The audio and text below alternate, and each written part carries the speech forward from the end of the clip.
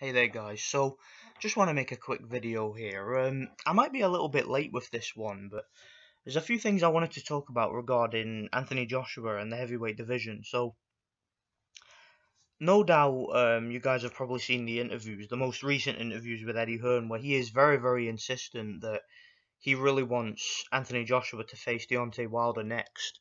You know, he seems to really want that fight next, and he, you know, has talked about him sending emails to Wilder's team and Wilder's management, and um, he's saying that they won't even respond.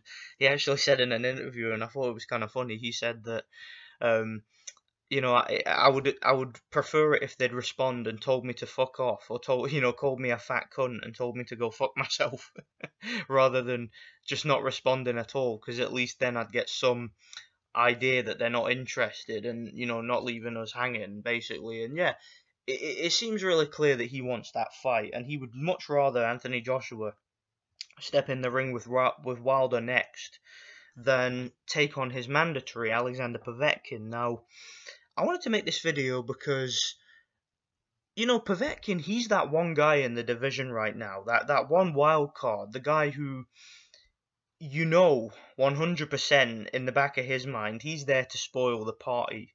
I mean, you've got other guys that you know lingering around like Dillian Whyte, um, you know, Jarrell Miller, uh, you know, all these PBC fighters, all these guys that are around aligned with Eddie Hearn and whatnot. You know, Gerald Washington and all them guys, Dominic Breazeale. And the thing about those guys is you get you kind of get a feeling that those guys are pretty much compromised, or at least I do. You know, you, you, they're involved in that Wilder Joshua realm where those guys seem to know and understand and expect and you know they, they seem to expect to be second best you know they, they seem to know their role they know that they're really not ever going to be champion they know that they're only going to be used as opponents and they're not really going to challenge Wilder or Joshua. For example, Dominic Breazeale fought Anthony Joshua uh, and put in a terrible performance. You know, ba- barely even tried to win and got taken out with ease it was basically a punching bag to make Joshua look good. And, you know, they were trying to build up a wilder Dominic Breazeale fight by trying to spark some fake rivalry between them.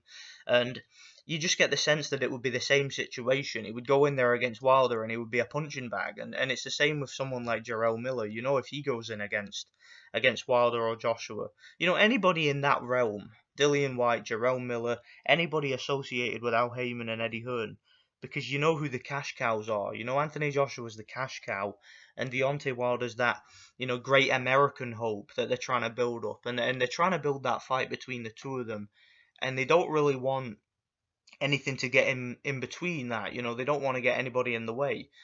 But in the case of Alexander Povetkin, you get the sense that he genuinely is in the mix to spoil the party because he's not he's not affiliated with Eddie Hearn. He's not affiliated with Al Haymon. He's not affiliated with DiBella or any of these Western promoters and the, these Western organizers. You know, he's a third party man. You know, he's a Russian. He's there to, you, know, he's there for the glory. You you don't even get the sense that he's fighting for money. You really get the sense that he wants the best fight possible because he is viciously calling out Anthony Joshua now. His team are doing absolutely everything they can to get that fight. There is no other fight they're even interested in.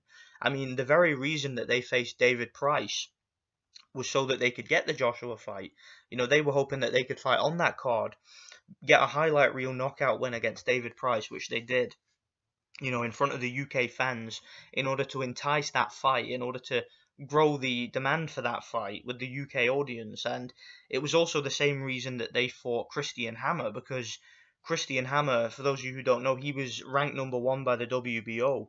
And since Joseph Parker and Anthony Joshua were set to fight, the, the winner of that fight would, of course, hold the WBO. So Alexander Povetkin's fight against Christian Hammer and his fight against David Price were his last two fights. And those fights were specifically to get Anthony Joshua in the ring. You know, that it was clearly by design. That It wasn't an accident that they picked those two guys as the last opponents. So to me, Anthony Joshua, you know, I don't know if he, I don't think he's scared of Povetkin, but I certainly think Eddie Hearn is reluctant to put Joshua in the ring with Povetkin. And I'm not saying Joshua can't beat Povetkin. He certainly can. Joshua certainly has the size, he has the, the punching technique, he has the athleticism, the youth, the energy. Uh, I mean, Alexander Povetkin is nearly 39 years old. Okay, the guy's approaching his 40s, so and he's a considerably smaller heavyweight than a lot of the guys that, that Joshua's used to be fighting. I mean, Joshua's fought Klitschko, uh, Joseph Parker, uh, Eric Molina, uh, Dominic Breazeale, who I mentioned earlier uh, even Charles Martin, all of these guys, I believe, are considerably bigger than Povetkin, who stands at about six foot one. So, you know, I, I think that certainly, obviously, you had Carlos Takam, who's around about the same size as Povetkin.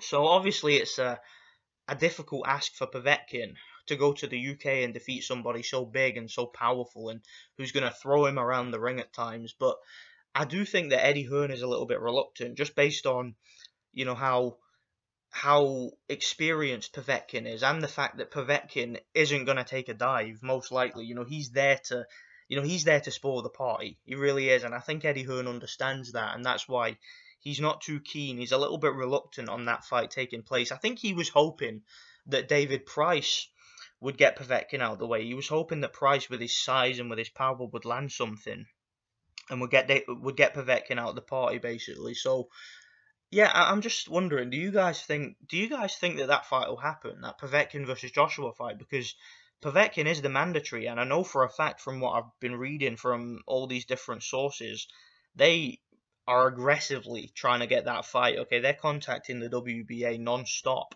to order that fight. They're trying to push for a purse bid. Uh, they really want to fight Anthony Joshua, just like they were aggressively chasing the Deontay Wilder fight a couple of years ago, and that fell through.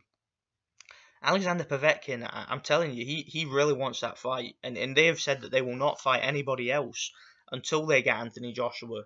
And that Anthony Joshua is not allowed to fight anybody else until they fight him. So, yeah, it looks as if he's he's there to spoil the party.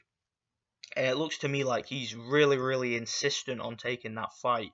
Um, so yeah, just let me know what you guys think. It's just a quick video. Um, I'm not going to be able to upload this video tonight, so if, if something gets signed by tomorrow morning, because I'm I'm going to be, I don't have the internet at the moment, I'm staying somewhere, and um, I won't have it until tomorrow morning. So um, yeah, if, if something happens, like if, if a fight gets signed this after this evening, and you know by the time I upload this video, some some something might have developed, it might have changed. I don't think so, but just if it has, then then just dismiss what I've said. But yeah, let me know what you guys think about this anyway. Thanks for watching.